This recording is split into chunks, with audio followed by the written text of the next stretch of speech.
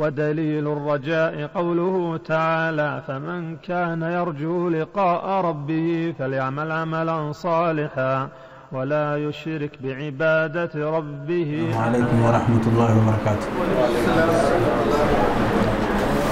بسم اللہ الحمد للہ والصلاة والسلام علی رسول اللہ وعلى آلہ وصحبہ ومن والاه. أما بعد آج بتاریخ بیس دس دو ہزار گیارہ، دو ہزار اٹھارہ۔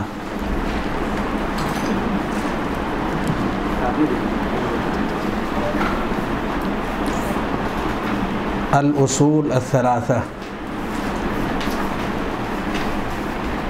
شیخ الاسلام محمد بن عبد الوہاب رحمہ اللہ تعالیٰ کی یہ عظیم الشان کتاب الاصول الثلاثہ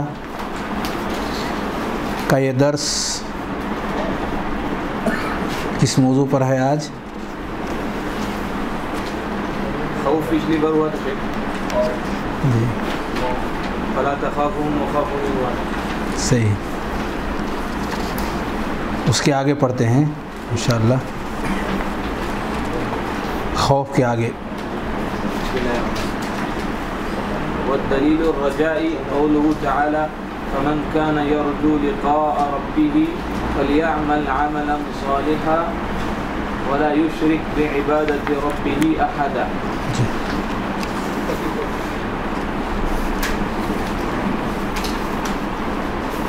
مؤلف رحمہ اللہ تعالی فرماتے ہیں وہ دلیل الرجا اور رجا کی دلیل رجا معنی امید۔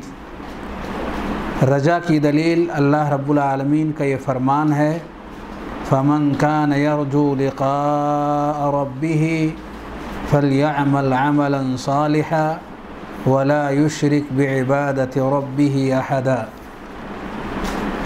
سورہ کہف کی ہے، یہ آیت کریمہ۔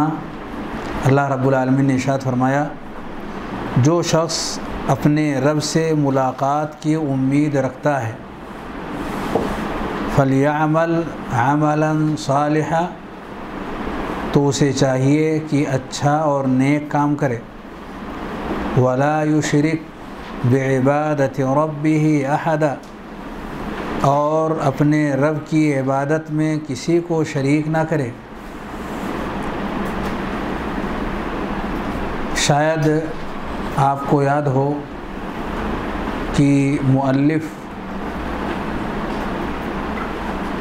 جس موضوع سے متعلق گفتگو فرما رہے ہیں۔ وہ موضوع ہے۔ کون سا موضوع؟ عبادت۔ وہ موضوع ہے عبادت۔ عبادت کا مفہوم ذکر کرنے کے بعد مؤلف نے عبادت سے متعلق کچھ انواع اور اقسام کا ذکر کیا کہ عبادت کی کئی شکلیں ہیں۔ اور ان شکلوں کا تذکرہ دلیلوں کی روشنی میں کیا کہ یہ سب عبادات اب تک جتنی عبادات کا تذکرہ آیا، ان میں سے کون کون سی عبادت کا نام ہوا؟ دعا، خوف۔ دعا اور خوف۔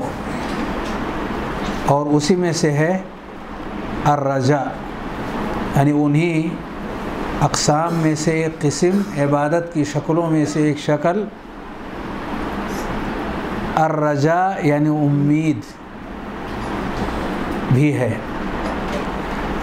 اور یہ اس کی دلیل ہے، سورہ کہف کی آیت کریمہ، فمن كان يرجو لقاء ربه فليعمل عملا صالحا ولا يشرك بعبادة ربه احدا خوف سے متعلق گفتگو پچھلے درس میں گزر چکی ہے۔ اگر پلٹ کر کے ہم سمجھنا چاہیں کہ خوف کیا چیز ہے، کون یاد دلائیں گے؟ خوف خوف کا مفہوم شاید پچھلے درس میں بتایا گیا تھا۔ اگر کوئی پوچھے، خوف یہ عبادت ہے اور اس کی دلیل ہے۔ تو دلیل تو آپ ذکر کر دیں گے۔ فلا تخافو ہوں وہ خافونی تم مؤمنین لیکن پوچھے ہم خوف نہیں جانتے آپ ہمیں خوف کا مطلب سمجھائیں۔ کیا بتائیں گے؟ جی سر مستقبل میں آنے آنے والی جی۔ تکلیف بے چیز کے سلسلے میں دل میں جو ہونے والی ہلچل ہے اس کو ممتاز۔ بالکل صحیح تعبیر آپ نے فرمایا کہ وہ ہلچل اور وہ اضطراب اور بے چینی، وہ دکھ اور درد جو انسان کے دل میں، مستقبل میں آنے والے کسی ناپسندیدہ چیز کے حوالے سے پیدا ہو جائے، اس درد اور دکھ اور تکلیف کے احساس اور شعور کا نام ہے خوف، دل کا بے چین ہو جانا، دل کے اندر دکھ کا پیدا ہو جانا، کسی ایسی چیز کے حوالے سے جو ناپسندیدہ ہے، اچھی چیز نہیں ہے، اور وہ ہمارے اوپر واقع ہونے والی ہے۔ ایسی چیزوں کے حوالے سے دل کے اندر دکھ پیدا ہو کہ یہ چیز آنے والی ہے ہمارے اوپر، دل کا بے چین ہو جانا، دکھی ہو جانا، اس کے اندر درد کا پیدا ہونا، دل کا حرکت میں آ جانا یہ نام ہے خوف کا۔ خوف یہی ہے۔ ماشاء اللہ تبارک اللہ۔ کیا اس چیز کو پچھلے کی صف میں کوئی دہرائیں گے؟ میں اس لیے اس کو دہرا رہا ہوں کیونکہ آنے والا جو درس ہے آج کا، دونوں میں چولی دامن کا ساتھ تھوڑا پختہ ہو جائے۔ پچھلی صف میں ماشاء اللہ اگلی صف میں ایک ہو گیا، پچھلی صف میں ایک ہو جائے۔ کوئی ہاتھ اٹھائیں؟ ہاں ہو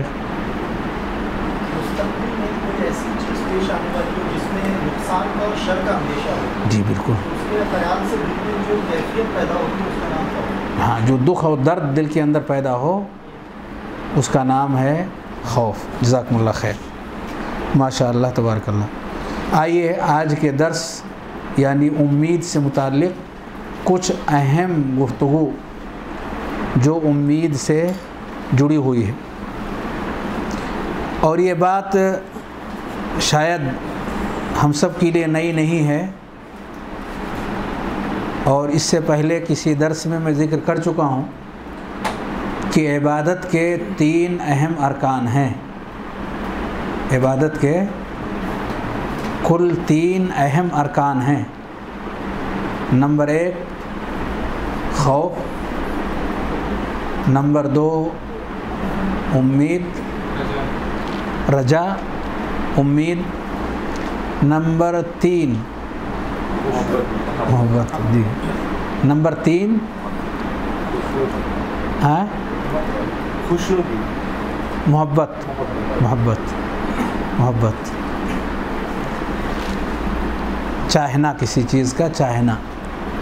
یہ تین اہم ارکان ہیں کسی بھی چیز کی عبادت میں ہونے کے لیے کہ فلاں چیز عبادت ہے، یہ اس وقت تک عبادت کا مفہوم اس کے اندر نہیں آئے گا جب تک کہ یہ تینوں چیزیں اس کے اندر نہ پائی جائیں۔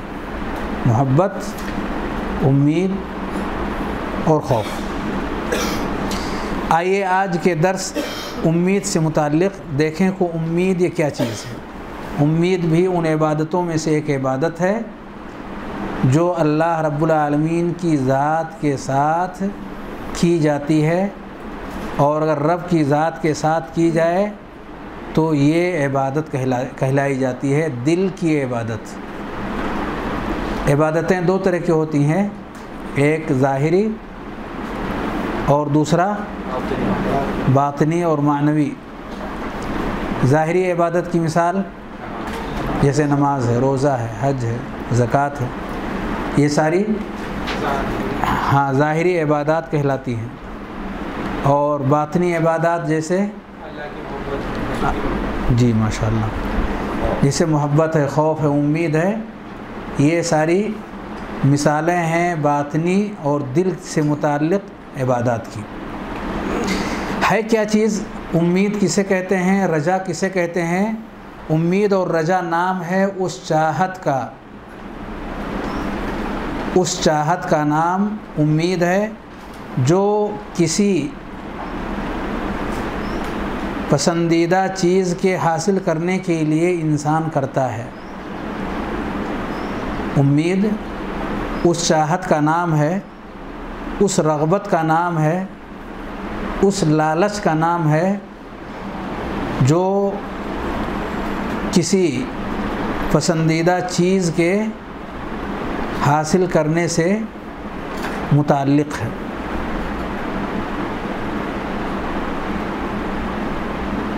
آدمی کسی چیز کی تلاش میں ہے، کسی چیز کی چاہت میں ہے اور اس چاہت کے لیے اگر وہ اپنے دل کو حرکت دے کوئی بھی چیز جس کی آس لگائے بیٹھا ہو، اس کے لیے تمنا کرے، دل کے اندر حرص اور لالچ اور کوشش کرے، دل کے اندر حرکت پیدا ہو جائے، تو دل کی اس حرکت کا نام امید ہے۔ دل کے اس حرکت کا نام امید ہے۔ اور یہ دل کا یہ عمل جو کسی چیز کے حاصل کرنے سے متعلق انسان کے اپنے پسندیدہ چیزوں میں سے کسی چیز کے حاصل کرنے سے متعلق ہو، وہ صرف اور صرف اللہ رب العالمین کی ذات کے ساتھ ہی خاص کی جا سکتی ہے۔ تو امید کا مفہوم بہت مختصر ہے کہ آدمی کی اپنی کوئی پسندیدہ چیز ہے اور وہ اسے حاصل کرنے کی چاہت رکھے، حاصل کرنے کی چاہت رکھے، رغبت رکھے، لالچ رکھے، اسی چاہت، رغبت اور لالچ کا نام امید ہے۔ اس کے اندر ذلت اور خاکساری شامل ہے۔ یعنی اس چاہت اور لالچ کے اندر ذلت، انکساری، خاکساری، یہ سب چیزیں اس کے اندر داخل اور شامل ہو جاتی ہیں۔ یعنی انسان کی دلی جو کیفیت ہوتی ہے، وہ سر کے اٹھانے، ناک کے اٹھانے کا نہیں، بلکہ دل کے جھک جانے، ذلیل ہو جانے اور انسان کا رب کے سامنے بچ جانے کا، کی کیفیت کا پایا جانا ہے۔ اب اگر کوئی شخص پوچھے کہ آپ نے ابھی امید کا جو مفہوم ذکر کیا ہے کہ ایک لالچ کا نام ہے، ایک چاہت کا نام ہے، جو انسان آس لگائے بیٹھا ہو کسی چیز کی، تو اس کے حاصل کرنے کے لیے دل کا حرکت میں آ جانا یہ امید کہلاتا ہے۔ تو پھر تمنا کس چیز کا نام ہے؟ تمنا بھی تو انسان کرتا ہے۔ تو کیا امید اور تمنا دونوں ایک ہی چیز ہے یا الگ الگ؟ تمنا ہاں؟ کسی چیز کی خواہش آدمی تمنا کرتا ہے تو کیا تمنا اور امید دونوں ایک ہی چیز ہے یا دونوں الگ الگ ہے؟ الگ الگ ہے۔ تمنا میں ذلت کا پہلو؟ نہیں ہوتا۔ ٹھیک۔ لیکن اگر وہ پہلو پیدا کر لے تو ہو جائے گی وہ امید۔ عربی میں تمنا ہو تمنی کہتے ہیں عربی میں اس کو۔ تمنا کو تمنی عربی میں کہتے ہیں۔ الامنیہ لئی سبھی امانی کم ولا امانی اہل کتاب کمرے میں بیٹھے ہوں تمنا کرو۔ تو کیا دونوں ایک چیز ہے یا الگ الگ ہے؟ الگ الگ ہے ماشاء اللہ تو کیسے الگ الگ کیا آپ نے؟ ذرا کر کے سمجھائیے۔ تمنا میں حرکت ہے۔ ایک خیالی ہے بس مجھے چاہیے مگر اس کے ساتھ رغبت تھوڑی کم رہتی ہے دل کا رجحان بس ایسے کہ مجھے کروڑ پتی بننا ہے۔ ایک ایسے ہی نہیں ملے خیالی تو بڑا پرابلم ہاں زیادہ ہم غم نہیں ہوتا ہے زیادہ۔ ہاں۔ بائی فلو ضرورت سے زائد ہے۔ ماشاء اللہ۔ یعنی انسان گویا کہ آپ کہنا چاہتے ہیں کسی بڑی چیز کی سوچ اپنے اندر پیدا کر لیتا ہے۔ کہ جہاں اس کی ضرورت نہیں بلکہ ضرورت سے بہت دور کی چیز ہوتی ہے۔ خیر دونوں میں جو فرق ہے آپ لوگوں نے اشارہ کر دیا ہے اپنی زبان میں یہی دراصل فرق ہے۔ آپ کو ایک طرف جھک کے بیٹھنا ایسے؟ آرام سے ٹھیک۔ امید نام ہے کوشش کرنے۔ امید نام ہے کوشش کرنے اور تمنا نام ہے بغیر کوشش کے۔ کسی چیز کے حاصل کرنے کی امید لگانا۔ کسی چیز کے حاصل کرنے کا چاہت اور دم بھرنا۔ لیکن اس کے لیے کچھ کرنا نہیں۔ اور امید کے اندر پوری کوشش صرف کرنا۔ اس کے لیے پوری کوشش صرف کرنا۔ تو فرق دونوں میں یہ ہے کہ ایک میں کوشش ہے اور دوسرے میں کوشش نہیں ہے۔ امید میں دو چیزیں پائی جاتی ہیں۔ ایک ہے ظاہری اسباب ظاہری اسباب کا اختیار کرنا۔ امید میں ظاہری جو اسباب ہیں ان ظاہری اسباب کو اختیار کر لیں۔ جیسے بھیونڈی سے اگر تعلق ہے، لوم وغیرہ سے، ہم کپڑا چاہتے ہیں کہ زیادہ سے زیادہ نکلے تو اس کے لیے آدمی مشین مشین لگاتا ہے اور ان مشینوں کے اندر دھاگے وغیرہ لا کر کے سیٹ کرتا ہے اور پھر مشین کو اسٹارٹ کرتا ہے۔ اس کے لیے افراد وغیرہ مہیا کر دیتا ہے جو اس کی دیکھ ریکھ کا اور بنائی کا کام کریں تو اس نے ظاہری جو اسباب ہیں اس کپڑے کی تیاری کے لیے وہ سارے اسباب مہیا کر دیے ہیں۔ اب اس کے بعد نتیجے کی امید لگائے۔ رب سے بیٹھا ہے جس کو توکل کہتے ہیں، اللہ پر امید، اچھی امید، اچھی آس لگانا۔ تو ظاہری اور باطنی دونوں امیدوں کے جمع ہونے کا نام ہے رجا ہے۔ ہاں ظاہری اسباب کا اختیار کر لینا۔ کوشش کا مطلب یہی تو ہوا۔ ہم نے کوشش کیا یعنی کیا؟ اس کام کو انجام دینے کے لیے جن اسباب کو اختیار کرنا چاہیے، اختیار کرنے میں ہم نے کوئی کمی نہیں چھوڑی۔ اور ساتھ ہی ساتھ یہ تو ظاہری ہوا۔ اور ساتھ ہی ساتھ دل ہمارا اللہ رب العالمین سے حاصل کرنے کے لیے پر امید ہو گیا ہے۔ اسی کے اوپر آس لگائے ہوئے ہے کہ اگر کوئی یہ خیر کی چیز ہمیں دے سکتا ہے یا نقصان کی چیز ہم سے ہٹا سکتا ہے، تو اس کی امید اگر دل اگر لگا سکتا ہے کسی سے، تو وہ صرف اللہ ہے۔ دو چیزیں ہیں، دونوں کو الگ الگ کر لیں۔ ظاہر کو ان اسباب کے ساتھ جوڑ لیں اور دل کو اوپر والے کے ساتھ جوڑ دیں۔ تو صاف ستھری امید ہمارے سامنے کھل کر کے آ جاتی ہے۔ دو کام ہے کام ایک ہی نہیں ہے امید میں۔ امید میں دو طرح کے کام ہیں۔ ایک ظاہری کام اور ایک باطنی کام۔ جو ظاہری کام ہے، اس کام کو دنیا میں جیسے کہ انجام دینے کا طور طریقہ بنایا گیا ہے۔ ویسے اسے انجام دے لے۔ کھیتی کرنے والے کیا کرتے ہیں؟ کھیتی جیسے کی جاتی ہے ویسے کریں اور اس کے اندر دانہ ڈال دیں۔ یہ ظاہری اسباب ہے اور پھر اس کے ذریعے سے نکلنے والے دانے اور پودے اور جو بھی چیزیں اس کے اندر ڈالی گئی ہیں، یہ کام انسان کا نہیں۔ یہ کام اب اس رب کا ہے جس سے ہمیں اپنے دل کے اندر امید رکھنی ہے۔ کسی اور سے لو نہیں لگانا ہے۔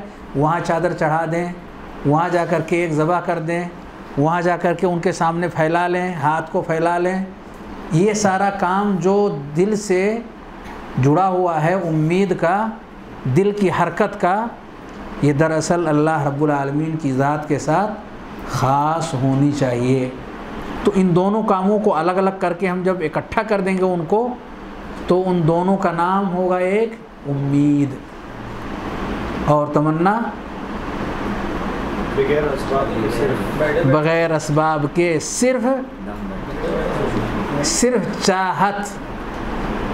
بغیر اسباب کے صرف چاہت کا پایا جانا۔ امید میں دو چیزیں پائی جاتی ہیں۔ ظاہری اسباب کو اختیار کرنا ہاں۔ دوسرا توقع حسن توقل یعنی دل کا اللہ رب العالمین سے جڑ جانا۔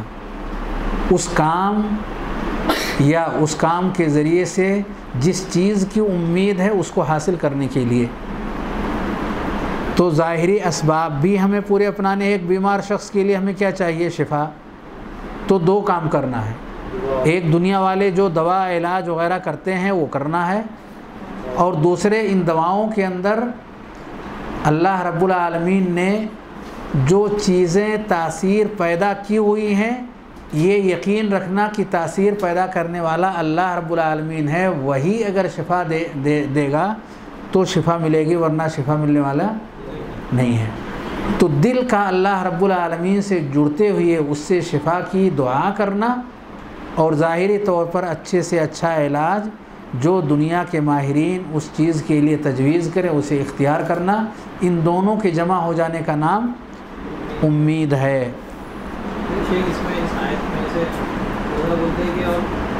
اللہ سے ملاقات کی امید ہے تو اس کے لیے دو کام بتایا اللہ ایک تو نیکی کے کام کرے یعنی ادھر ایکشن کرے۔ جی۔ اور شک نہ کرے یعنی وہ وہی اللہ نے کسی کو جیسے ہم بولتے ہیں نا کہ یہ کام کرنا ہے، مگر اللہ کے اوپر بھروسہ رکھنا ہے۔ تو دونوں چیز اس آیت میں عبادت کے تعلق سے آ جاتی جی صحیح۔ وہی ابھی میں نے کہا کہ ظاہری طور پر اسباب کو ہم اختیار کر لیں۔ فلیہ عمل عمل صالحا ولا یشرک بعبادت ربہ احدا اور اس کام کے حاصل کرنے کے لیے رب کے علاوہ کسی اور سے حاصل کرنے کا ارادہ نہ کرنا۔ اگر کسی اور کے ساتھ اس دل کو جوڑ دیے کہ فلاں اگر چاہے گا، فلاں اچھا ڈاکٹر ہے، اگر وہ چاہ لے گا تو ہو گیا کام خلاص۔ اگر ذہن کے اندر، دل کے اندر یہ بات بیٹھ گئی تو رب کو چھوڑ کر کے جس قدر یہ پر امید اس شخص کے ساتھ جو اللہ کے علاوہ ہے دل سے اگر اس کے ساتھ جڑا، اس چیز کے حاصل کرنے کے حوالے سے اسی قدر وہ شرک کے اندر ہو گیا۔ اسی لیے کہا، ولا شرک بے عبادت رب ہی احدا کہ عبادت ہے اللہ کی، اس عبادت میں کسی اور کو شریک نہیں کرنا ہے۔ تو پھر آپ نے جس چیز کی امید کی ہے، وہ آپ کو مل جائے گی۔ ان دونوں کے ساتھ ایک تو نبی کریم صلی اللہ علیہ وسلم کا طریقہ اپنا لیں، کہ نبی کے طریقے پر اس چیز کو حاصل کریں، دنیا کے جو بھی اسباب ہیں، یہ نہیں کہ ہر صحیح اور غلط تمام طرح کے اسباب اپنائیں، تمام اسباب نہیں اپنا سکتے، بلکہ جو صحیح اسباب ہمارے لیے ہیں۔ مثال کے طور پر اگر کوئی شخص شراب سے علاج کرتا ہو، تو کیا ہم اسے اپنا لیں؟ دنیا والے تو بھائی کر رہے ہیں، ہم نہیں اپنا سکتے۔ کیوں؟ اس لیے کہ وہ حرام ہے؟ نبی کے طریقے پر ہم چلیں گے فلیہ عمل عمل صالح نبی کے طریقے پر چلیں گے تو پھر اس کا فائدہ ہوگا، ورنہ اللہ رب العالمین نے اس کے اندر جو خیر رکھا ہوا ہے، اس سے ہم معروم ہو جائیں گے۔ فلیہ عمل عمل صالح اور دوسرے ایک ہی اللہ رب العالمین سے پر امید ہوتے ہوئے جو ہمارا مقتضا ہے، وہ اللہ رب العالمین سے طلب کریں۔ تو وہ چیز ہمیں حاصل ہوگی۔ ورنہ ہم خائب و خاصر ہو جائیں گے۔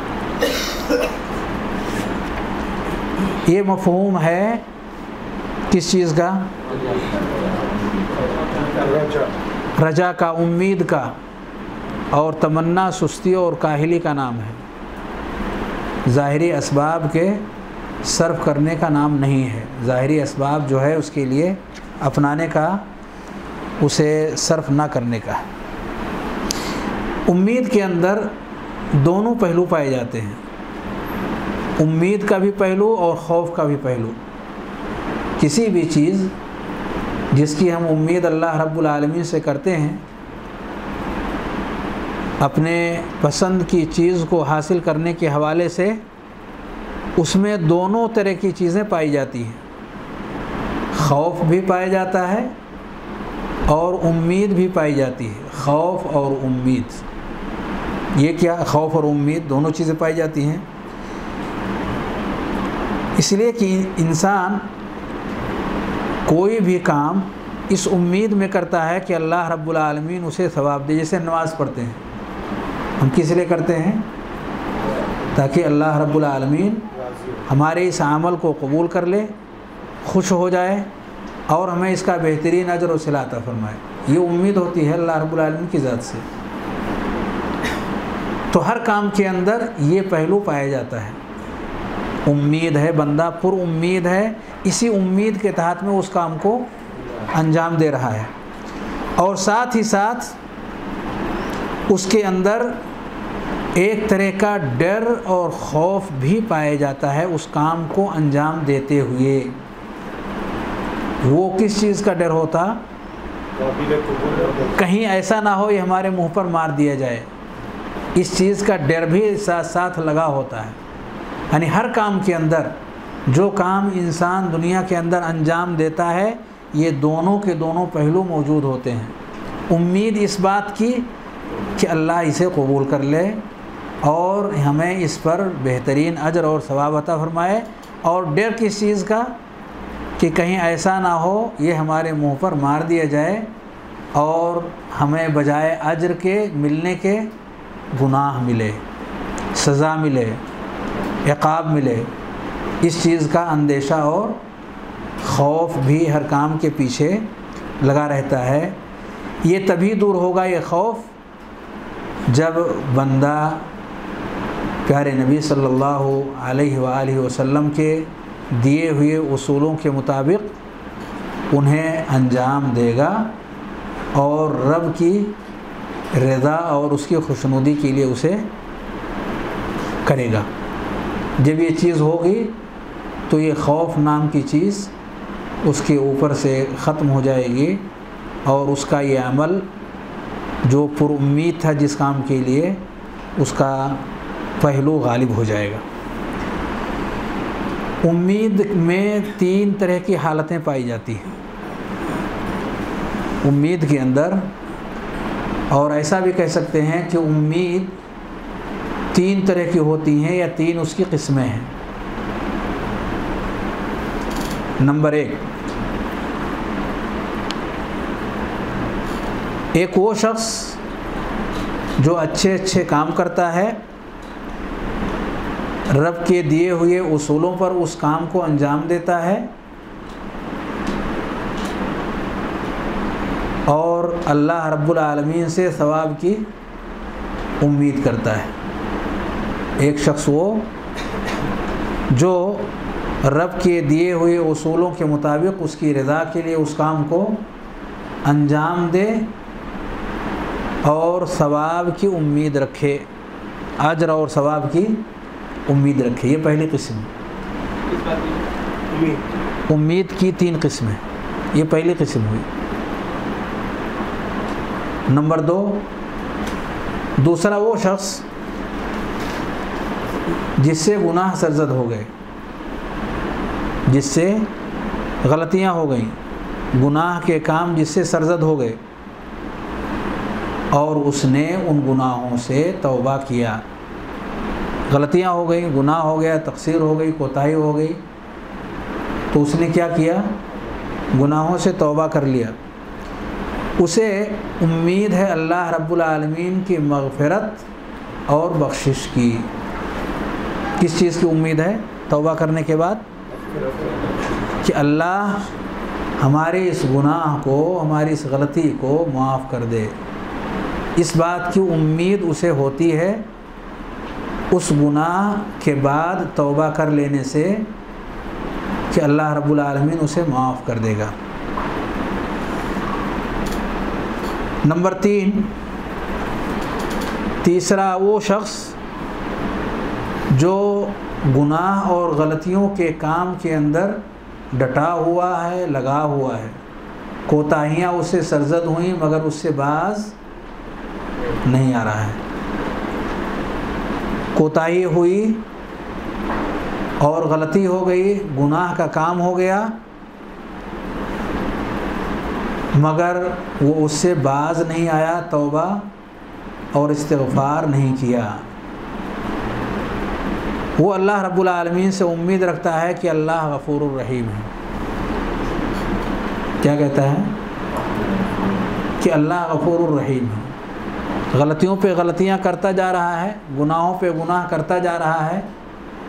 لوگوں پر ظلم اور زیادتی کے سلسلے کو جاری کیے ہوئے ہے۔ جب اس سے کہا جاتا ہے کہ بعض آ جاؤ، توبہ کرو، اس راستے کو چھوڑ دو، کہتا ہے اللہ معاف کرنے والا ہے۔ بڑا مہربان ہے اللہ رب العالمین۔ پر اس مہربانی کو حاصل کرنے کا جو طریقہ ہے، وہ طریقہ اپنا نہیں رہا ہے۔ اسے بھی امید ہے، لیکن یہ کون سی امید ہے؟ یہ دھوکے کی امید ہے، غرور ہے، دھوکہ ہے۔ اور دوسرے لفظوں میں ابھی جیسے میں نے کہا، تمنا ہے۔ اور جھوٹی امید ہے، اس کو کہہ سکتے ہیں۔ جھوٹی امید۔ یہ کتنی کتنی قسمیں ہو گئی؟ تین قسمیں ہو گئی۔ ایک وہ شخص جس نے اچھا کام کیا اور اس کے اجر اور ثواب کی امید اپنے رب سے لگائے ہوئے ہے۔ دوسرا وہ شخص جس سے گناہ ہوا، پر توبہ اس نے کیا، غلطیوں سے باز آ گیا اور معافی کی امید اپنے رب سے لگائے ہوئے ہے۔ تیسرا وہ شخص جس سے گناہ سرزد ہوئے، غلطیاں ہوئیں، اس سے باز نہیں آیا اور وہ امید اور آس لگائے بیٹھا ہے کہ ہمارا رب ہمیں معاف کر دے گا۔ یہ تین طرح کی امید پائی جاتی ہے لوگوں میں۔ ان دونوں میں سے پہلا اور دوسرا یہ صحیح امید ہے، برمحل ہے۔ اور یہی وہ عبادت ہے جو اچھے اور سچے مومنین کے اندر پائی جانی چاہیے۔ اور تیسری جو قسم ہے، اس سے مسلمانوں کو بچنا چاہیے۔ پر یہ موجود ہے۔ یہ چیز پائی جاتی ہے۔ لوگوں کے اندر اس کا وجود ہے۔ اگر ہم اس سے باز نہیں آئے اور اسی میں رہے تو کوئی بعید نہیں کہ اللہ رب العالمین ہمیں دنیا سے اٹھائے اور ہم انہی غلطیوں اور گناہوں کے ساتھ ساتھ اپنے رب سے جا ملیں۔ اور یہ خطرناک یہ خطرناک انسان کو کہاں سے کہاں پہنچا سکتا ہے؟ ایک چیز بہت اہم ہے کہ امید انسان کا جس قدر بلند ہوتا ہے، اسی قدر اس کے اعمال میں زیادتی اور اضافہ ہونے لگتا ہے۔ انسان جتنا ہی زیادہ پر امید ہوتا ہے، کسی بھی چیز کو حاصل کرنے کے حوالے سے تو اسی قدر اس کے اعمال میں اضافہ اور بڑھوتری پائی جاتی ہے۔ اب دیکھیے، ایک شخص ہیں پیارے نبی صلی اللہ علیہ وسلم سے کہتے ہیں اس آلو کا مرافقت کا فل جنہ میں آپ کا ساتھ جنت میں چاہتا ہوں۔ کہا اور کچھ، کہا بس وہی۔ تو کیا کہا نبی صلی اللہ علیہ وسلم نے؟ عینی اعلیٰ نفسی کا بکثرت السجود. عینی اعلیٰ نفسی کا بکثرت السجود. زیادہ سے زیادہ آپ سجدے کریں. یہاں سجدہ سے مراد نماز پڑھنا. یعنی جز بول کر کے کل مراد لیا گیا ہے. جسے بولتے ہیں الحج عرفہ. الحج عرفہ. حج عرفہ کا نام ہے. یعنی ایک انسان بہت سارے کاموں میں سے ایک عظیم الشان کام جو حج کے ارادے سے گیا ہوا ہے، میدان عرفہ میں جانا بھی ہے۔ تو پورے حج کی تعبیر ایک جز کو بول کر کے کی گئی ہے تاکہ اس کی اہمیت لوگوں کے ذہن و دماغ میں بیٹھ سکے۔ ایسے ہی یہاں پوری نماز کو سجدے کے لفظ سے تعبیر کیا گیا۔ کیونکہ انسان جب سجدے میں ہوتا ہے تو اپنے رب سے بہت ہی قریب ہوتا ہے۔ پیارے نبی صلی اللہ علیہ وآلہ وسلم نے یہاں سجدہ بول کر کے مکمل نماز زیادہ سے زیادہ پڑھنے کی طرف گویا کہ انہیں آمادہ کیا ہے، اس کی طرف ابھارا ہے۔ تو اس سے معلوم یہ ہوا کہ انسان کی امیدیں جس قدر عظیم ہوتی ہیں، اس کے اعمال بھی اسی قدر بلند ہوتے ہیں، بڑھے ہوئے ہوتے ہیں اور ان کے اندر زیادتی پائی جاتی ہے۔ اس کی حیثیت اگر آپ متعین کرنا چاہیں، امید کی حیثیت، تو یہ ایسے ہے جیسے چلنے والے شخص کو آپ آگے بڑھنے کے لیے، آگے ہی آگے بڑھنے کے لیے حوصلے دیتے رہیں۔ ایک طالب علم ہے، اس نے سور فاتحہ سنا دیا۔ ماشاء اللہ تبارک اللہ، والدین نے فوراً ہی نکالا اور اسے گفٹ دیا۔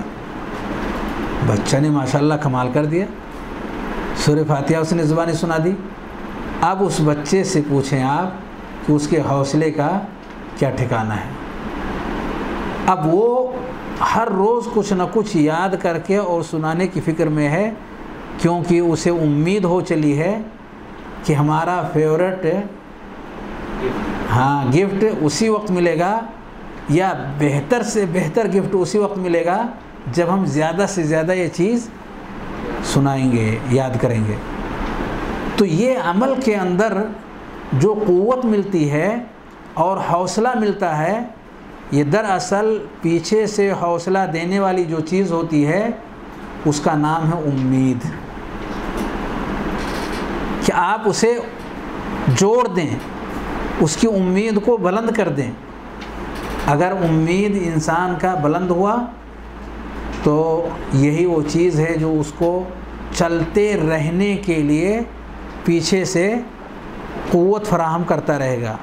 وہ انسان تھکاوٹ کے باوجود اپنے اندر تھکن محسوس نہیں ہونے دے گا۔ یہ ایسا اسپرٹ ہے جو اس کے چال کی رفتار میں بہتری لاتا ہے اور خوشگوار ماحول کے اندر وہ اسے آگے ہی آگے کی طرف بڑھانے میں مفید اور نفع بخش ہوتا ہے۔ ہاں وہ حوصلہ جو اس کے امید کے لیے وہ حوصلہ جو اس کے امید کو کے اندر قوت پیدا کرے۔ وہ حوصلہ جو اس کی امید کے اندر قوت پیدا کر دے۔ تو یہ بہت بڑی اسپرٹ ہے۔ تو اس کا درجہ آپ اس سے متعین کر سکتے ہیں کہ امید انسان کی زندگی کے اندر کامیابی کے لیے کتنی بڑی چیز ہے۔ اگر وہ پیدا ہو جائے، ہر انسان کے اندر اس کا تصور اگر آ جائے تو اس امید کے ساتھ ساتھ وہ بڑے بڑے مراحل کو بڑی ہی آسانی کے ساتھ طے کر لے گا۔ اور جہاں امیدیں کمزور ہوتی ہیں، وہاں انسان کا عمل ضعیف اور کمزور ہو جاتا ہے۔ جیسے جیسے انسان کی امیدیں کمزور ہوتی ہیں، ہلکی ہوتی ہیں ویسے ویسے اس کا عمل آہستہ آہستہ کمزوری کی طرف چلا جاتا ہے۔ یہاں تک کہ ایک وقت آتا ہے کہ وہ بے عمل ہو جاتا ہے۔ میں نے بچوں کی مثال کیوں دیا؟ کیونکہ ہر شخص اپنے بچے کو کچھ نہ کچھ دینا چاہتا ہے۔ ظاہر سی بات ہے، بچے ہیں، ان کو چاہیے اور بڑے ہیں، وہ دیں گے۔ تو کیوں نہ ہم بچوں کو کچھ ایسی چیزوں کے ساتھ جوڑ کر کے ان کو پر امید کریں جو ان کی زندگی کو سنوارے دیں وہ چیزیں۔ مثال کے طور پر ایک بچہ کھیلنا چاہتا ہے اور آپ چاہتے ہیں وہ پڑھے۔ بچہ نہیں چاہتا ہے پڑھنا، تو کیا کریں گے؟ اب آپ اس کی زندگی میں تلاش کریں، چاہتا کیا ہے اس کی زندگی میں؟ کیا کیا چیزیں اہم ہیں؟ بچے کی زندگی میں کیا کیا چیزیں ہیں جو بہت اہم ہیں؟ اب انہی چیزوں میں آپ کو ایک چیز ملی کہ فلاں کھیل اس کو بہت پسند ہے۔ تو فلاں کھیل اس کے لیے مہیا کریں ایک شرط کے ساتھ۔ اب وہی شرط، بچہ، اب وہ کھیل آپ نے بطور امید کے سامنے رکھ دیا، رکھا ہوا ہے، پہنچو وہاں تک آپ۔ اس اس جگہ تک پہنچنے کے لیے آپ کے پاس یہ چیز موجود ہے۔ اگر ایک آیت آپ یاد کر کے سناتے ہیں تو آپ کو آدھے گھنٹے کا وقت کھیلنے کے لیے دیا جائے گا۔ اگر دو آیت آپ سنائیں تو ایک گھنٹہ آپ کو ملے گا کھیلنے کے لیے۔ مثال کے طور پر، جو کھیل اس کا اپنا پسند ہے، میں ایک مثال دے رہا ہوں۔ تو آپ ادھر بڑھاتے جا رہے ہیں، ادھر بچے کو زیادہ سے زیادہ وقت مل رہا ہے کھیلنے اور کودنے کے لیے کہ اس نے کہا اچھا اتنی سی آیت ہے، اس کو یاد کر کے سنانا ہے۔ ابھی ہم سنا دیتے ہیں۔ تو جو چیز اس کو گھنٹوں زبان پر لانی مشکل ہوتی ہے، منٹوں میں وہ اسے لا کر کے اور چھٹی لینے کی کوشش کرتا ہے تاکہ اس کی جو امید والی چیز ہے، وہ فوراً حاصل ہو جائے۔ تو امیدوں کے ساتھ جوڑنا اور زندگی کو پر امید بناتے رہنا، یہ کسی بھی انسان کی کامیابی کے لیے بہت ہی عظیم چیز ہے۔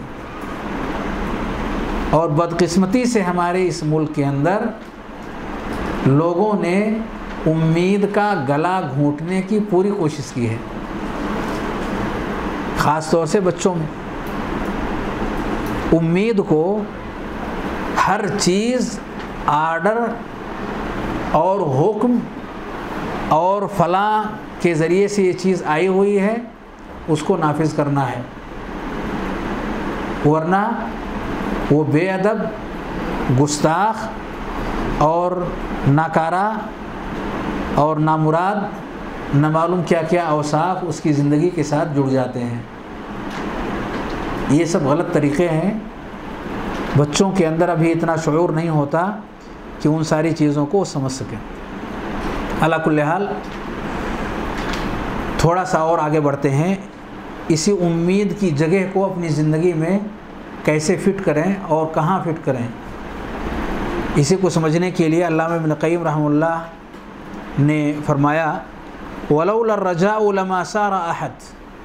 اگر امید نہ ہو تو کوئی بھی مسافر سفر طے نہ کر سکے۔ اگر امید نہ ہو تو انسان سفر طے نہیں کر سکتا۔ فعن الخوف وحدہ لا يحرك العبد۔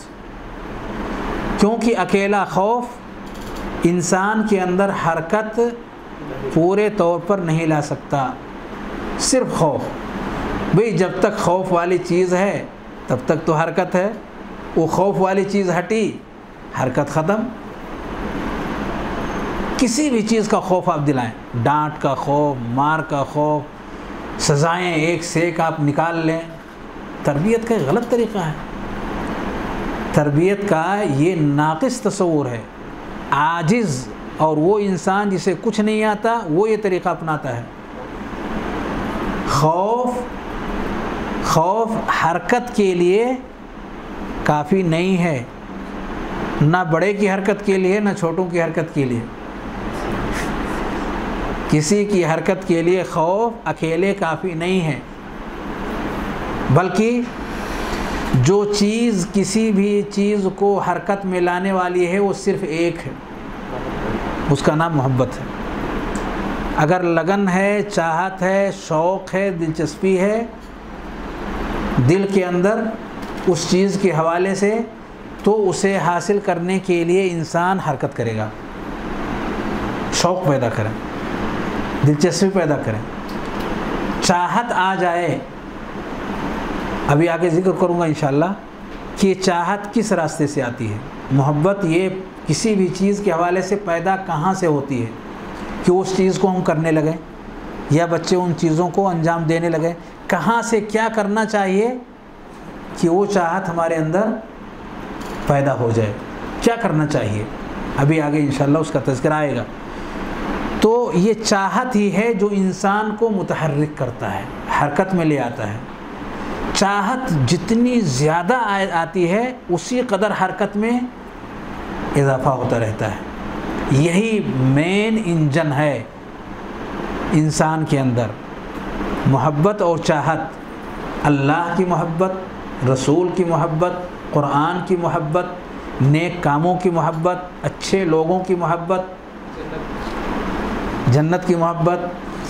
تو ان ساری چیزوں کی محبت اگر انسان کے ذہن و دماغ میں بیٹھ جائے، جس قدر محبت کا یہ درجہ اعلیٰ سے اعلیٰ رہے گا، اسی قدر انسان کی چلنے کی رفتار اور حرکت تیز سے تیز تر ہوتی چلی جائے گی۔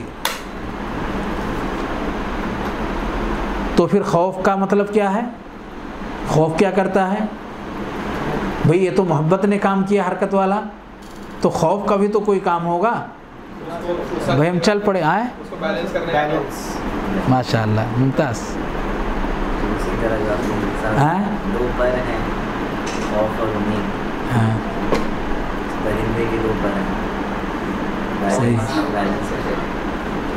خوف جو کام کرتا ہے، وہ دو میں سے ایک کرتا ہے۔ یا تو جس صحیح راستے پر چل رہے ہیں اس صحیح راستے سے نکلنے نہ پائیں۔ راستہ نہ بھٹکیں۔ خوف کا ایک کام یہ ہے کہ راستے میں سے نکلیں نہیں، نہ دائیں، نہ بائیں، کسی طرف نہ جانے پائیں۔ ایک کام خوف کا یہ ہے کہ جس کے اندر خوف پیدا ہوگا یعنی ڈر، تو وہ ڈر اپنا کام یہ کرے گا کہ ہم منزل تک پہنچنا چاہتے ہیں تو اتنے دھیان کے ساتھ اس چیز کو اپنا لیں کہ ہم بالکل سیدھے راستے پر قائم ہو کر کے چلتے رہیں، دائیں اور بائیں کٹنے نہ پائیں۔ آپ ذرا تصور کر لیں، خاص طور سے جو لوگ ڈرائیور ہیں، کہ اگر دائیں طرف اور بائیں طرف اگر کھائی ہو اور بیچ میں راستہ مختصر ہو اور وہاں ڈرائیونگ کرنی ہو، تو بہت خوف ہیں؟ بہت الرٹ چوکن ایک دم چوکنا ہو کر کے دائیں بائیں نہیں جانا۔ خوف رہے گا کہ نہیں رہے گا؟ تھوڑا موڑا تو آ جائے گا نا خوف؟ بہت خوف آئے گا۔ کھائی جتنی گہری ہوگی خوف کا پاور اسی قدر بڑھتا جائے گا۔ تو یہ خوف کا کام ہے کہ وہ دائیں اور بائیں بھٹکنے سے بچاتا ہے۔ اور ایک اور کام خوف کا ہے۔ خوف کا ایک کام اور ہے کہ اگر اتنے منٹ میں آپ فلاں جگہ نہیں پہنچے تو آپ کو یہ چیز ملنے والی نہیں ہے، ختم ہو جائے گا۔ بہت ساری چیزیں ہوتی ہیں، اعلان آتا ہے، انسان کو پہنچنا ہے ٹائم سے، نہیں پہنچیں گے تو وہ چیز ختم ہو گئی۔ یا آپ کو ٹرین پکڑنی ہے، دیکھ رہے ہیں۔ اگر کسی انسان کے پاس وقت کم ہو، مسافت زیادہ ہو، پہنچنا ہو، لائی تھوڑا سا رک کر کے آرام کرتے ہیں، پھر چلتے رہیں گے، مل جائے گی، ہیں؟ انسان راستے میں رکنے کی نہیں سوچتا ہے۔ یہ خوف ہے جو انسان کو حرکت پر قائم رکھتا ہے۔ یعنی اس کو متحرک رکھنے کے لیے، اس کو متحرک رکھنے کے لیے خوف اپنا عمل جاری رکھتا ہے۔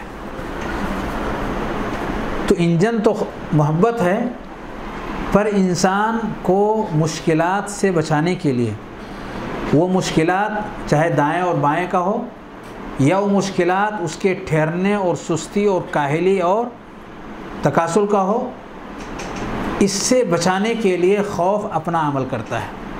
وہ حرکت پیدا کرتا ہے تاکہ اس کے چلنے اور حرکت کی اسپرٹ میں کوئی فرق نہ آنے پائے۔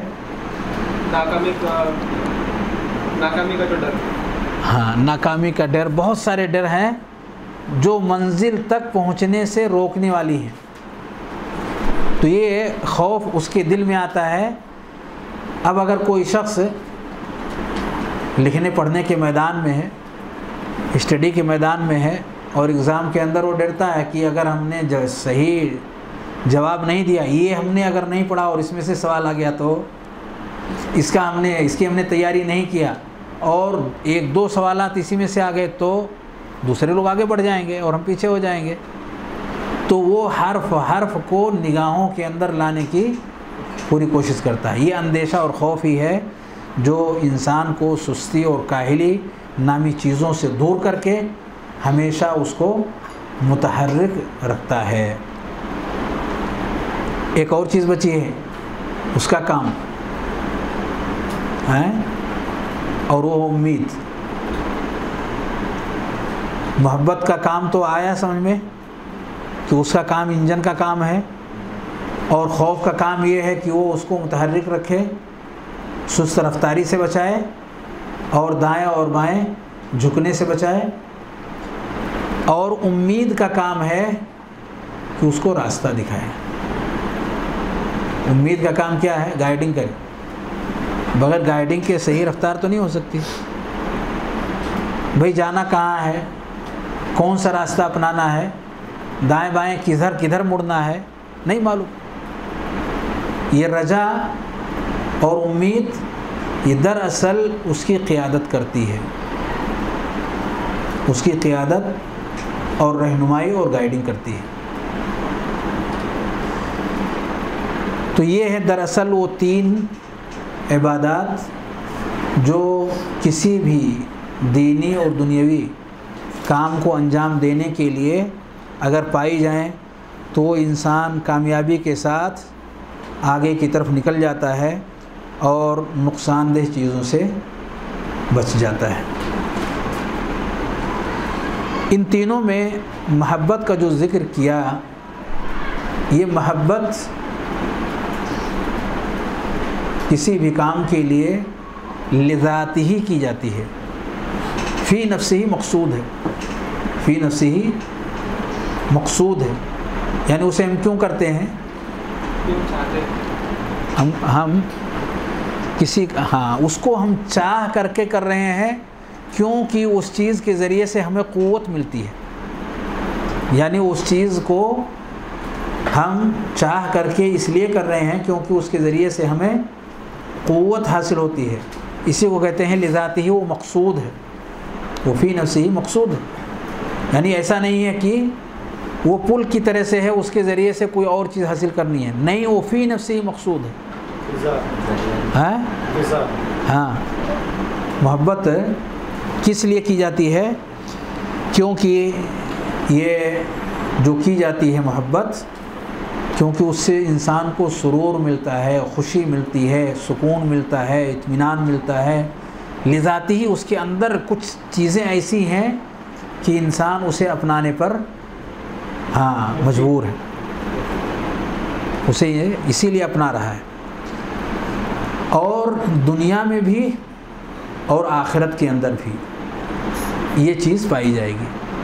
محبت، یہ قاظم الشان نعمت ہے جو اللہ رب العالمین نے عطا فرمایا ہے انسان کو دنیا کے اندر کے لیے، کہ اسے عام کریں اور آخرت کے لیے بھی اللہ رب العالمین نے محبت کو باقی رکھا ہے۔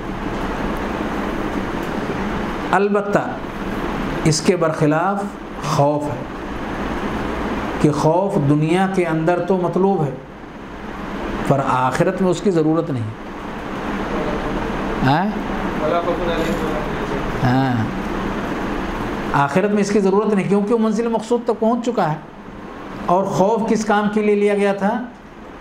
کہ منزل مقصود تک پہنچنے کے لیے جو رکاوٹیں آ رہی ہیں جس کا اندیشہ ہمیں لگ رہا ہے اس سے بچنے کے لیے خوف کو ہم لگا دیں تاکہ نقصان سے بچ بچا کر کے منزل تک پہنچ جائے۔ اب وہ تو منزل تک پہنچ چکا ہے۔ اب تو فیصلہ ہونے والا ہے، اما الجنہ و اما النار۔ تو اب خوف کا کام باقی نہیں رہا۔ یعنی دنیا کی زندگی کے اندر تو خوف موجود ہے، پر آخرت میں اس کی ضرورت نہیں ہے۔ اور یہ بہت بڑی نعمت یہ بہت بڑی نعمت کہ خوف اہل ایمان کو آخرت کے اندر نہ رہے۔ یہ بہت بڑی نعمت کیونکہ خوف جیسا کہ بھی آپ لوگوں نے دیکھا کہ دراصل یہ کسی ناپسندیدہ چیز کے مستقبل میں واقع ہونے کے اندیشے کا نام ہے، جس سے آدمی دکھ اور تکلیف محسوس کرتا ہے، جو جنت کے اندر ہے ہی نہیں۔ اللہ رب العالمین نے فرمایا اللہ اولیاء اللہ لا خوف علیہم ولا هم يحزنون لا خوف علیہم ولا هم يحزنون لیکن اگر یہ کہے کوئی شخص اس آیت کریمہ یا اس جیسی بے شمار آیت کریمہ ہیں کہ انسان اگر ایمان والا ہے تو نہ تو دنیا میں اسے خوف ہے اور غم ہے اور نہ ہی آخرت میں اسے کسی چیز کا خوف اور کسی چیز کا غم ہوگا۔ اور ابھی ہم لوگوں نے خوف کی اہمیت پر اتنی لمبی چوڑی باتیں کی ہیں۔ اگر کوئی شخص یہ کہے کہ اس آیت کریمہ سے یہ پتہ چلتا ہے کہ خوف مومن کے اوپر سے مرتفع ہے۔ نہ دنیا میں خوف ہوگا اور نہ ہی آخرت میں ہوگا۔ نہ تو دنیا میں غم ہے اسے اور نہ ہی آخرت میں کسی چیز کا ہوگا۔ تو پھر خوف کو عبادت قلبیہ میں سے شمار کیا گیا اور اس کی اتنی فضیلتیں آئیں۔ کیسے دونوں چیزیں اکٹھی کیسے ہو سکتی ہیں؟ جی بتائیے۔ اللہ ان اولیاء اللہ۔ کسی کی صفت بیان کی جا رہی ہے وہ اولیاء ہے کیا نہیں؟ ایک انسان نہ خود کو معلوم ہے نہ انسانوں میں کسی اور کو معلوم ہے اولیاء ہے کیا نہیں۔ مومن والا ثابت ہی نہیں آپ کو ہنڈریڈ پرسینٹ شیورٹی نہیں آپ مومن ہے کر کے تب تک ہم اللہ سے ملاقات نہیں کر لیتے۔ عبادت کی قبولیت کا ابھی تو ہمیں پتہ ہی نہیں چلا۔ تو یہ اولیاء ہے اور ہم اولیاء ہیں ہم کیسا بولیں گے اپنے؟ یہ درجہ تو اللہ کے پاس ہی ہے۔ ہاں۔ آیت میں جو خوف کی بات ہے وہ اللہ تعالیٰ کے تعلق سے خوف نہیں ہے۔ تو دنیا بھی کوئی چیز سے انسان جو خوف یہ کرتا ہے تو اللہ تعالیٰ دیکھتا ہے کہ تم اس خوف سے تو بچ جاؤ گے۔ یعنی تو کسی چیز کا ڈر نہیں ہوتا۔ جی۔ کوئی بھی دنیا بھی اعتبار تمہارا نقصان نہیں کرتا اگر تم مجھ سے میری آیتوں کو مانو گے یا مجھ سے ڈرو گے تو دنیا بھی اعتبار سے ڈرو گے ہے جان اس میں ہے دم ہے اس میں جواب میں؟ ہے ماشاء اللہ ہاں۔ قسموں سے جڑا ہوا ہے؟ ماشاء اللہ ماشاء اللہ تو دراصل وہ خوف جس سے روکا گیا ہے یا خوف طبیعی یہ ہے دراصل جس کی ضرورت نہیں ہے۔ خوف جو انسان کے لیے نقصان دہ ہے۔ اس کو اللہ رب العالمین نے مومن کے اوپر سے اٹھا لیا ہے، تاکہ دنیا کی جنت میں وہ لذتوں اور سرور اور خوشی اور مسرتوں میں رہے۔ یعنی وہ خوف جس کی وجہ سے انسان دنیا کے اندر تکلیف، مشکل، نقصان کے اندر اپنے آپ کو پائے، ایسی چیز کو اللہ رب العالمین نے اہل ایمان کے اوپر سے ختم کر دیا ہے۔ تاکہ جو سکون اللہ رب العالمین کی طرف سے نیکیوں کے کرنے کی بنیاد پر اس نے رکھا ہوا ہے، اس سکون میں خلل ڈالنے والی کوئی چیز نہ رہے۔ وہ سکون مکمل طور پر اس پاک دل کے اوپر نازل ہو اور اپنے بہترین اثرات اس شخص کے اندر پیدا کرے۔ تو جس قدر انسان کا ایمان کامل ہوگا اور ایمان میں پختگی ہوگی، اسی قدر اسے پرسکون زندگی اللہ رب العالمین عطا فرمائے گا اور پرسکون زندگی تبھی انسان کی ہو سکتی ہے جب سکون کو غارت کرنے والی چیزیں ختم ہو جائیں۔ اگر انسان کو خوف اور غم ہے، تو اسی قدر ہے جس قدر اس کے ایمان میں لچک ہے، کمزوری ہے۔ سکون جس قدر انسان کی زندگی سے ختم ہے، اسی قدر اس کا ایمان متاثر ہے، گناہوں اور غلطیوں کے ارتکاب سے۔ تو اب دونوں میں ٹکراؤ نہیں دونوں میں کوئی ٹکراؤ والی چیز۔ جس خوف کی بات کی گئی ہے، یہ عبادت جسے اپنا کر کے اسے سکون حاصل ہوگا۔ اور جس خوف کی نفی کی جا رہی ہے یہ وہ خوف ہے جو انسان کے ذہن اور دماغ اور جسم کے اندر نقصان، دکھ اور تکلیف کو لانے والی ہے، نہ کہ اس کے سکون کو غارت کرنے والی ہے۔ تو دونوں میں فرق۔ ایک عبادت ہے اور وہ اس کے سکون میں اضافہ کرنے والی ہے، نہ کہ سکون کو ختم کرنے والی۔ اور دوسرا وہ خوف ہے جو انسان کو دکھ اور تکلیف میں مبتلا رکھنے والی ہے۔ اللہ رب العالمین نے اپنی نعمت کے طور پر دنیا کے اندر اہل ایمان کے اوپر سے ان کے ایمان کے بقدر غم اور خوف دونوں کو ختم کر دیا ہے۔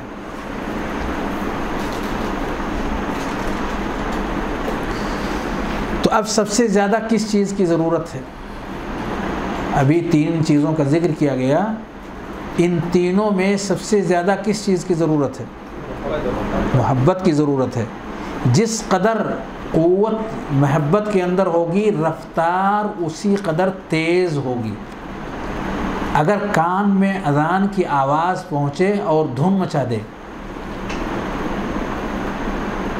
تو آپ سمجھیں کہ محبت نے اپنے محبوب کی طرف لے جانے کے لیے اس کو بے چین کر دیا ہے۔ نام مجھے اس وقت یاد نہیں آ رہا ہے۔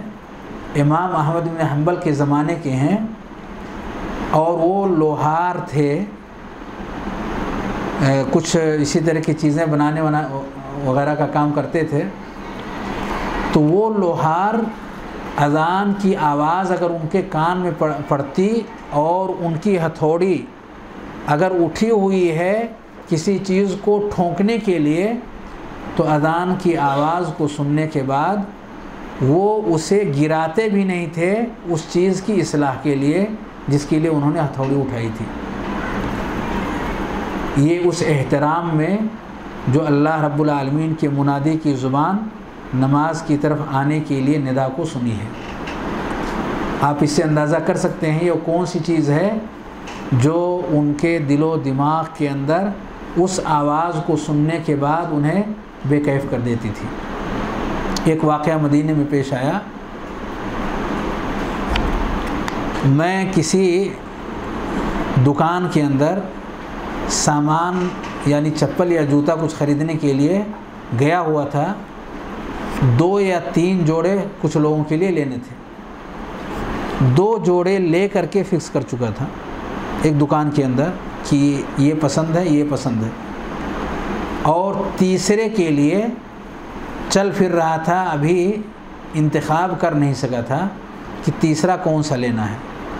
اتنے میں اذان کی آواز کانوں سے ٹکرائی۔ لائٹ بجھا کر کے اور وہ دکان بند کرنے لگا، گیٹ، وہ دکان والا۔ اور کہا، نماز کے بعد اور مجھے فوراً نکلنا تھا۔ وہاں سے تھوڑے فاصلے پر جانا تھا۔ کیونکہ پندرہ بیس منٹ کا وقفہ رہتا ہے ہر جگہ۔ تو اس نے کہا نماز کے بعد ابھی نہیں۔ میں نے کہا سنو، آپ اذان کی وجہ سے یہ چیز کہہ رہے ہیں کہ اذان کی آواز سنی ہے، اب ہم خرید و فروخت نہیں کریں گے؟ کہا ہاں۔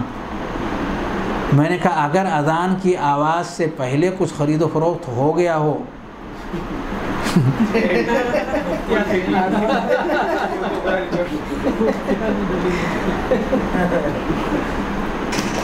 اگر وہ ہو گیا ہو تو تو خاموش ہو گیا ہو۔ میں نے کہا، یہ دو پہلے ہو چکا ہے۔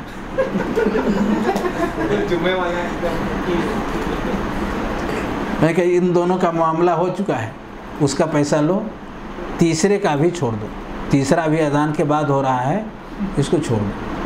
اس نے دو کا پیسہ لیا، تیسرے کا نہیں لیا۔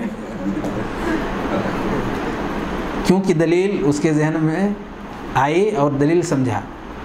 بات سمجھ میں آئی تو دو کا پیسہ اس نے لے لیا۔ تیسرے کا پیسہ اس نے لیا کہ ابھی آپ اس کو پسند کر رہے ہیں، اس کو ہم نہیں لیں گے اس کا پیسہ۔ آپ اس سے ایک چیز کا اندازہ کر سکتے ہیں کہ جو وقت اس کو دو کے پیسے میں لگا، تین کا بھی وہی وقت لے ہونا تھا۔ کیا چیز ہے جس نے اسے مجبور کیا کہ وہ اس طرح کا برتاؤ کرے جبکہ معاملہ منٹوں سے کم میں ہونے والا ہے؟ دراصل یہ وہی محبت ہے جو دلوں کے اندر اللہ کے کلام کے حوالے سے، اس کی عبادتوں کے حوالے سے کسی کے ذہن و دماغ میں بیٹھی ہو۔ اگر یہ چیز ہے تو انسان کو وہ چیز آگے ہی آگے کی طرف لے جانے والی ہے۔ اگر دیکھیں کہ دلوں میں حرکت تو آ رہی ہے، پر چاہت نہیں ہے۔ دیکھا بہت سارے لوگوں کو تو پیدا ہوا کہ ہم کو بھی یہ کر لینا چاہیے، پر دل کے اندر چاہت نہیں ہے۔ حرکت ہم نے کیا اور حرکت آئی، لیکن وہ جو محبت ہونی چاہیے کہ جس کے حاصل کرنے کے بعد انسان اگر وہ چیز نہ پائے تو بے چین ہو جائے، وہ چیز نہیں آئی۔ تو ایسا کس وجہ سے ہو رہا ہے؟ یا اگر ہم محبت لانا چاہیں تو اس کے لیے ہمیں کیا کرنا چاہیے؟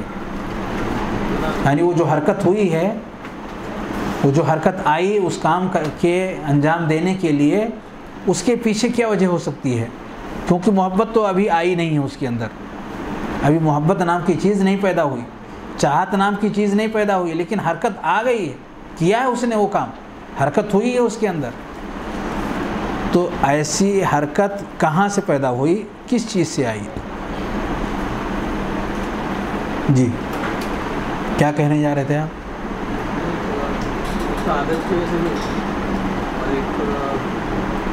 موٹیویٹ کرنے کے لیے کوئی دوسری چیز بتائے اصل چیز کو اتنا بتا دے انسان اس کو کرتے کرتے پھر اس میں ادھر کبھی پہنچ جاتا ہے اکثر بچوں کے ہر تربیت میں ایسے ہوتا ہے وہ تو اللہ کی معرفت تو اتنے بھی تو نہیں کرے گی اگر نماز کو پڑھنا ہو اس کی یعنی اس کی طرف ان کو جیسے گفٹ دینا ہو سب طرح اس کو رستے پہ ڈالتے ہیں۔ پھر جیسے ان کو شعور آتا ہے تو پھر وہ چھوڑی پھر اللہ کی محبت میں وہ کرنا شروع کرتے نہیں قریب ہے۔ بات آپ نے جو کہی ہے کہ انسان کے اندر محبت نہیں ہوتی لیکن جب کسی چیز کو کرتے رہتا ہے، کرتے رہتا ہے، تو وہ چیز اس سے، اس کے ساتھ جوڑ دیتی ہے اور آہستہ آہستہ محبت پیدا ہو جاتی ہے۔ اب یہیں سے میں موضوع سے نکل کر ایک مثال دینا چاہتا ہوں۔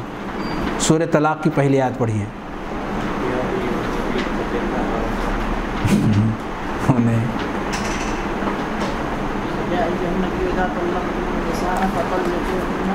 لعدتهن.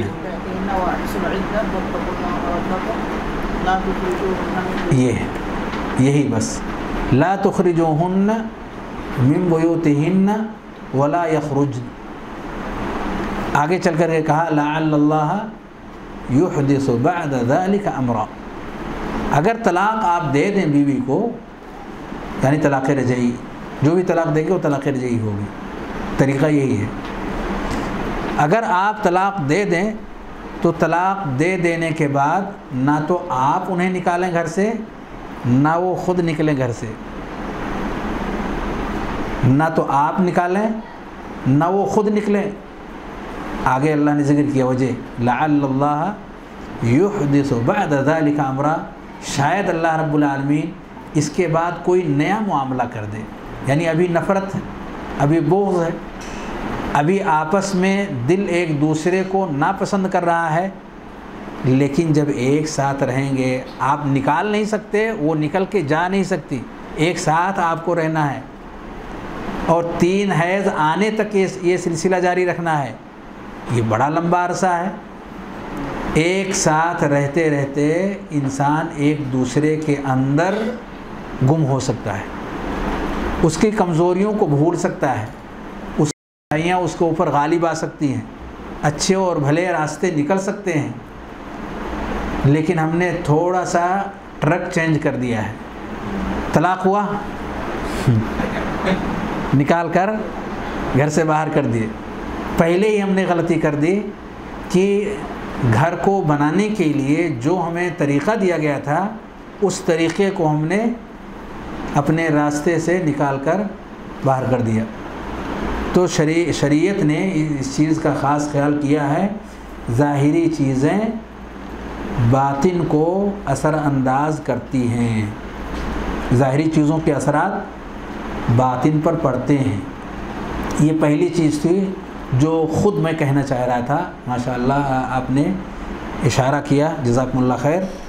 تو یہ پہلی چیز ہے جو انسان کے اندر حرکت لا سکتی ہے۔ اس کے دلوں کے اندر محبت نام کی چیز کو پیدا کر سکتی ہے۔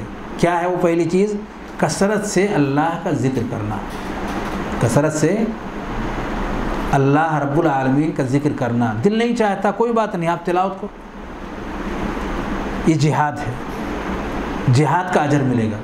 دل نہیں چاہتا نا، آپ وضو بناؤ۔ جہاد کا اجر ملے گا۔ دل نہیں چاہتا، آپ ایسی ویسی چیزوں کو چھوڑ کر کوئی اچھی سی چیز آپ لگا کر کے آپ اسے سنیں۔ جہاد کا اجر ملے گا کیونکہ شیطان کچھ اور چاہتا ہے اور آپ کچھ اور چاہتے ہیں۔ تو جس قدر یہ ٹکراؤ کی شکل ہوگی اور آپ کو شیطان کی چاہتوں پر غلبہ ہوگا، تو یہ جو کوشش کیا ہے، اسی کا نام جہاد ہے۔ یہ جہاد کا یہ سلسلہ لمبا چل سکتا ہے۔ اور مسلسل ہر روز دن کا حصہ ہو یا رات کا، جہاد کا یہ سلسلہ جاری ہی رہتا ہے۔ کبھی دشمن غالب آ جاتا ہے اور کبھی دوست غالب آ جاتا ہے، لیکن غلبہ کسی نہ کسی کو مل ہی جاتا ہے۔ تو یہاں محبوب کو یاد کرنے کے لیے جہاد کرنا، محبوب کو یاد کرنے کے لیے زیادہ سے زیادہ جہاد کرنا۔ اللہ رب العالمین نے فرمایا، یا ایہا الذین آمنوا اذکروا اللہ ذکرا کثیرا وسبحوہ بکرتا و اصیلا کوشش کرو، اپنی طرف سے کوشش کرو۔ راستہ یہی ہے نا، چلو، طبیعت نہیں چاہتی تب بھی چلتے رہو چلتے رہو چلتے رہو چلتے رہو۔ کوشش کرو۔ تو یہ جو ظاہری کوشش ہے، کثرت کے ساتھ اس چیز کو کرنا، یہ دراصل اس کے ظاہر اگر ظاہر اگر کسی کام کو لے رہا ہے، تو وہ اس کے باطن کو پھیرنے کے لیے ایک ذریعہ اور سبب ہے اذان ہو رہی ہے۔ جی سر سبحانک اللہم و بحمدک اشہد اللہ الہ الا انت استغفرک و اتوب الیک۔